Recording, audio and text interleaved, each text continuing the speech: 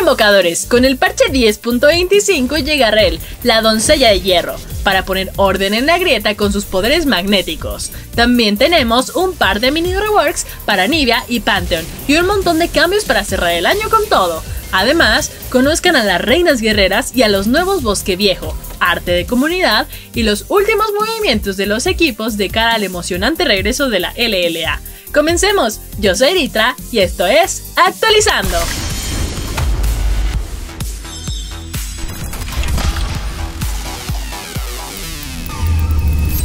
Tenemos mucho que ver, así que comencemos los fortalecimientos con Gragas. Después de hacer los campamentos, este maestro cervecero por lo general terminaba muy debilitado y en consecuencia quedaba súper vulnerable para que lo invadieran.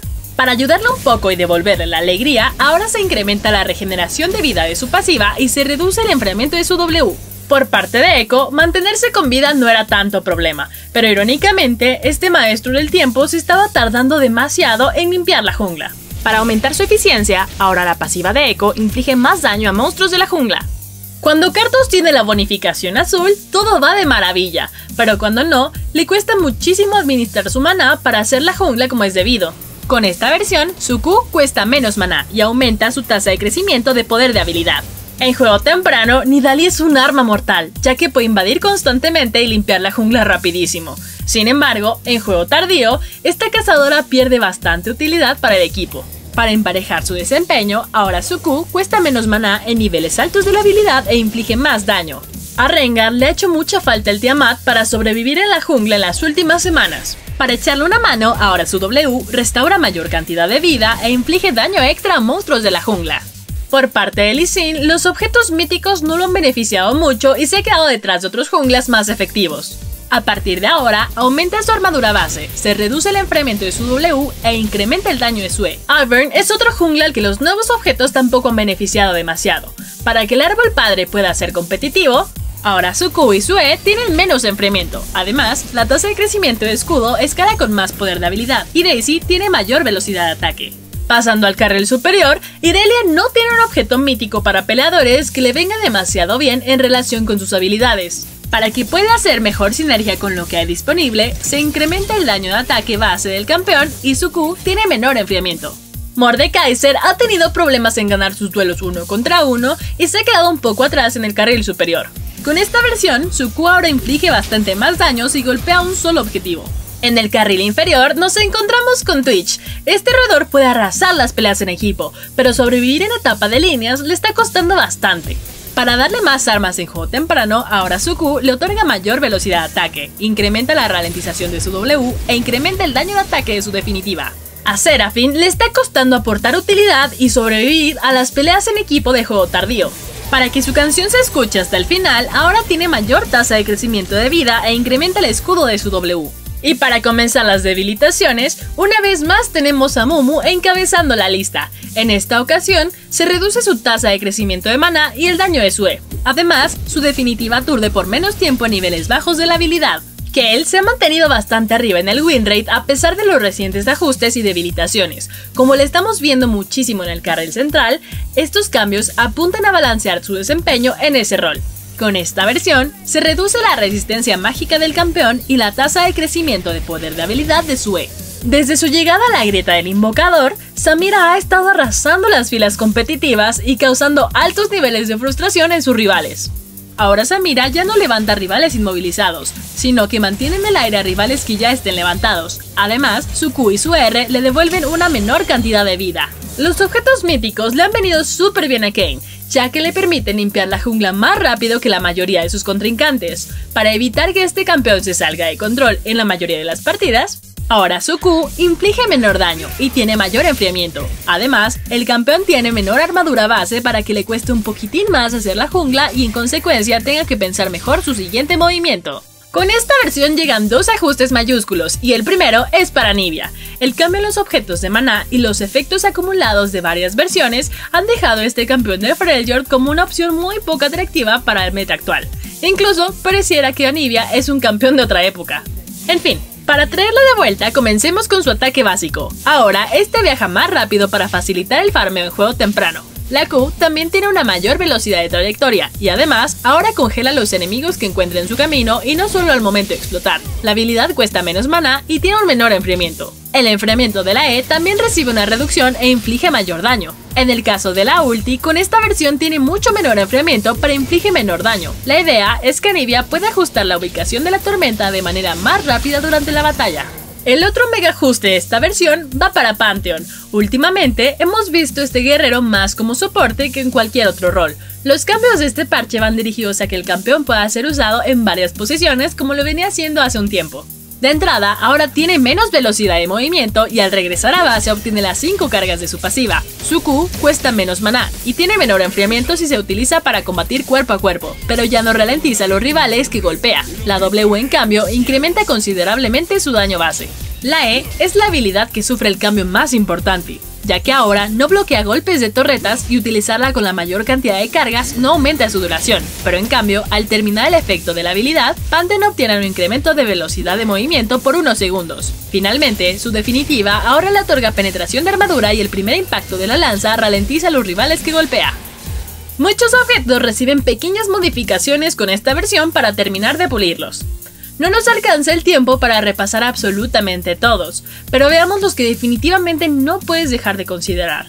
En primer lugar, tenemos los objetos de soporte, los cuales estaban demasiado caros. De ahora en adelante, la mayoría de ellos tiene un menor costo, para que así los soportes adquieran relevancia más pronto en la partida. Similar al caso anterior, los tiradores aún no encuentran su lugar en el nuevo meta, ya que les cuesta acceder a los objetos de golpe crítico. Con esta versión, la mayoría de los objetos de golpe crítico cuestan menos oro e incrementan su daño de ataque. Caso contrario es el de los tanques. Sus objetos le entregan tanta durabilidad que derribarlos se ha convertido en una misión casi suicida. De ahora en adelante, la mayoría de los objetos para tanques ven reducidas sus estadísticas para darles un punto vulnerable. Muramana era un objeto obligatorio para casi todos los magos, ya que se activaba tanto con ataques básicos como con hechizos. Para reducir el daño que potenciaba el objeto, ahora Muramana solo se activa con los hechizos que infligen daño físico. Para mayor detalle de todos los cambios de objetos de esta versión, les dejamos las notas completas del parche en la descripción del video. Un nuevo soporte cabalga por la grieta del invocador y promete ser diferente a todos los demás. Rel, la doncella de hierro, llega con un estilo agresivo y dinámico. Echemos un vistazo a su kit de habilidades. Para comenzar, su pasiva es de suma importancia para el desenlace de las peleas. Rel tiene baja velocidad de ataque, pero cada ataque básico que conecta roba resistencias a sus rivales. Golpear a tanques enemigos significa quitarles armadura, lo que abre oportunidades para que los ADCs hagan su trabajo y ganen los encuentros. La Q anula los escudos por completo. Campeones como Lulu serán mucho menos efectivos cuando tengan a Rel enfrente. Cuando utiliza su W, Rel puede cambiar de forma rodeándose del metal que compone su caballo. Sobre sus pies, Rel se mueve mucho más lento, pero tiene mayor resistencia. Al contrario, cuando regresa a su caballo, obtiene un incremento de velocidad de movimiento para alcanzar a los enemigos. La definitiva es su herramienta principal para habilitar al resto de sus compañeros. Rel crea un campo gravitacional para evitar que escape cualquier contrincante, y en combinación con habilidades de área como la onda de choque de Oriana harán el wombo combo perfecto para ganar todas las peleas en equipo. Los objetos recomendados son sin duda la armadura pétrea y la placa del hombre muerto. Estos objetos te darán velocidad de movimiento y resistencias necesarias para alcanzar y aguantar los ataques de los rivales.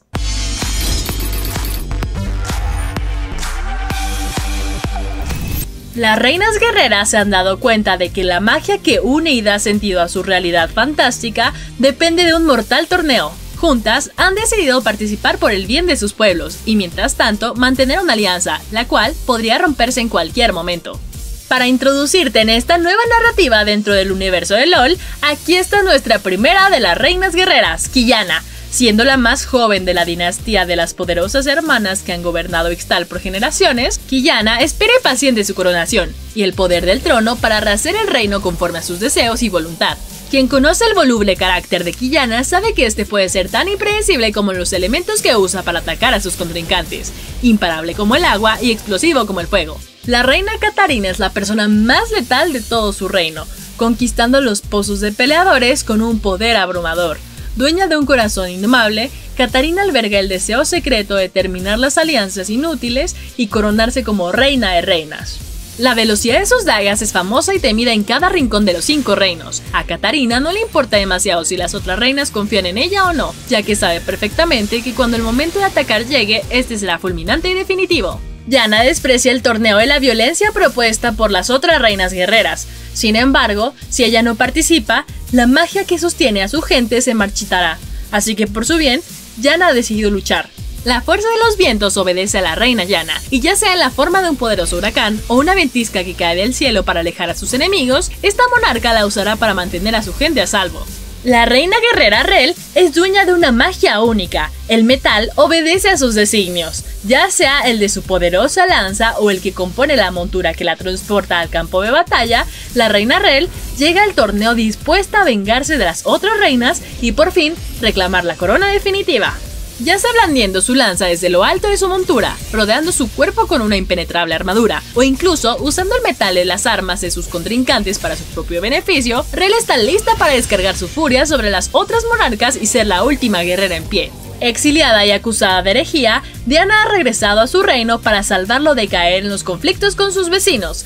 Ella quiere usar el poder de la corona para devolverlo a la gente, en lugar de que se quede en las garras de algunos líderes ambiciosos. Cuando Diana ataca, la curvatura de su espada se dibuja en una media luna de poder púrpura, y para terminar a sus rivales, esta reina guerrera puede invocar poderes ancestrales para consumir las amenazas y dejar la marca de su linaje en señal de victoria.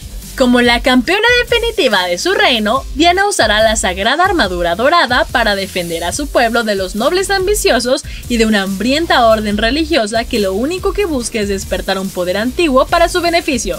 Son muchas las fuerzas que se unen para derrotar a Diana, pero las gemas incandescentes incrustadas en su armadura la protegen del daño. La nobleza en la causa de Diana y el amor que esta reina guerrera tiene por su gente agrada a los dioses, quienes dejan caer una resplandeciente bendición para protegerla del mal.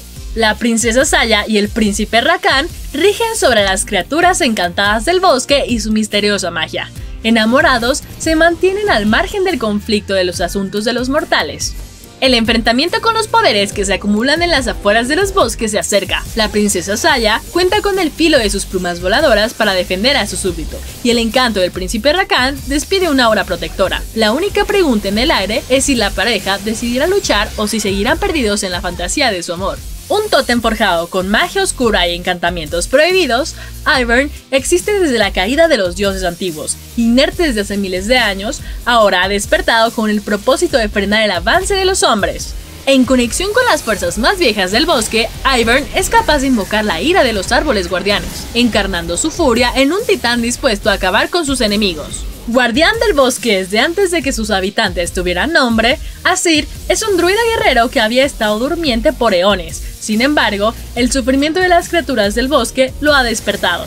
Furioso y dispuesto a terminar con la depredación del exterior, Asir ha reunido un ejército para defender a la que ha sido su casa desde el principio de los tiempos. Dueño de un conocimiento divino, Orn se empeña en seguir las tradiciones y proteger el camino de los viejos dioses. Sin embargo, no será una tarea fácil. El bosque sigue muriendo poco a poco y los aliados de Orn se han extinguido en el crepúsculo.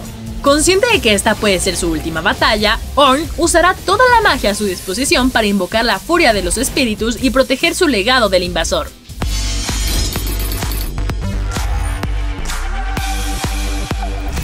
El año se acaba, pero los artistas de nuestra comunidad no descansan, y menos con los nuevos aspectos Bosque Viejo y Reinas Guerreras. En el episodio pasado pusimos una imagen de Saya en un momento incómodo con Seth, ¿se acuerdan? Pues como muchos le rompió el cocoro, Mizuki Art nos pone una curita con esta imagen. El amor verdadero sobrevive. Y para continuar con Bosque Viejo, esta Saya durmiente se ve en comunión con la magia que la rodea en este trabajo de Ripple Colors. Y por otro lado, Orne está feliz de la vida porque al fin le diseñaron un skin. La ilustración es de Bunny Brownie. Por supuesto, las reinas guerreras también acapararon el talento de nuestros artistas. Primero tenemos a esta llana que nos regala Aricha, la cual se ve un poco confundida, igual porque el año está a punto de terminar. La que sí está muy segura de sí misma es Kiyana, con este trabajo más realista de Leslie. Y para cerrar, no podíamos dejar de darle la bienvenida a Rel, con una imagen que seguro podremos usar en uno que otro chat familiar cortesía de Lady Kimiyama.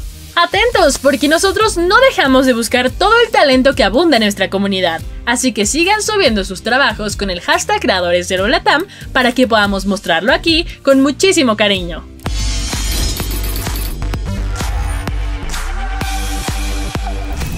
Si bien nos estamos preparando para el All Stars del 18 de diciembre, han sucedido cosas súper importantes estas semanas. Cuando se trata de la LLA, los equipos siguen calentando motores de cara al 2021 y tenemos una nueva escuadra en la competencia. Los mexicanos de Estral Esports se suman a la LLA 2021 al comprar el cupo de Pixel Esports en la liga. Ya se están preparando los fans de Monterrey. Y respecto a alineaciones, ¿saben quién fue el primer equipo en revelar su roster completo? All Knights. Los caballeros ya anunciaron al ecuatoriano Straight en el carril superior, al mexicano Grell defendiendo la jungla, Kiefer en el carril central desde Chile, Pancake como ADC desde Argentina, y ni más ni menos que el semifinalista del Mundial 2018 junto a G2 Esports, Waded como soporte. Prometen llegar lejos. ¿O ustedes qué piensan? Invocadores, con esto llegamos al final de este episodio, el último que haremos en el 2020. De parte de todos en el equipo de producción, queremos agradecerles habernos acompañado y les deseamos lo mejor para este final de año. En el 2021, Actualizando regresa con muchas sorpresas y todas las ganas de divertirnos juntos, compartiendo experiencias increíbles alrededor de nuestro amado LOLcito. Un abrazo súper fuerte. Yo soy Ridra y esto fue Actualizando.